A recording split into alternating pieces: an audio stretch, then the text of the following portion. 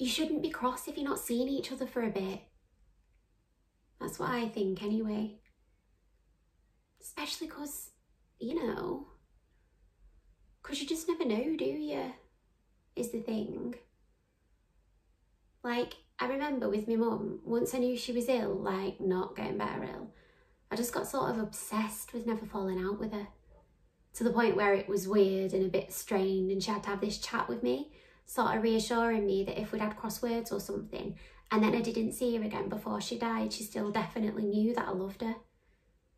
Don't know why. She just said it. But then we never fell out anymore after that, so job done. And like a lot of the time now when I'm thinking about Jason and that, because I'm thinking about him quite a lot at the moment, we did not have that thing where we sort of parted nicely. Like, I think he just called me a slag or something, and then I cried and told him his dick was a weird shape, which it wasn't actually. It was a lovely shape. But that is literally how we left it. And I regret that really. Because now he's dead and that, but I've got like his little son or daughter growing inside me. So probably it is best just to be nice to each other. Just like sort of in case.